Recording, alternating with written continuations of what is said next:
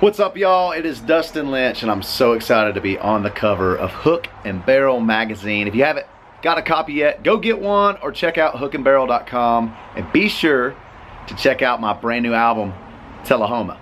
Hope to see y'all on the road soon.